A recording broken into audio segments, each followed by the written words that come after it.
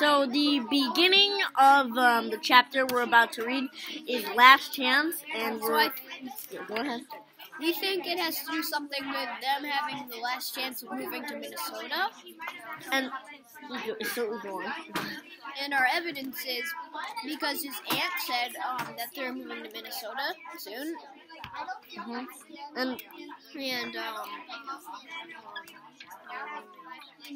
the evidence that we have is that I think it's called Last Chance because it has the last chance to like has the last chance to maybe figure out this invention or the last chance to say goodbye to his house or the last it's lots of things but I think it's the one thing that I I really think it is is the last chance to um, make that that invention because in Minnesota they might not have a lab in in their house or an attic in their house. So is, is that what you were thinking?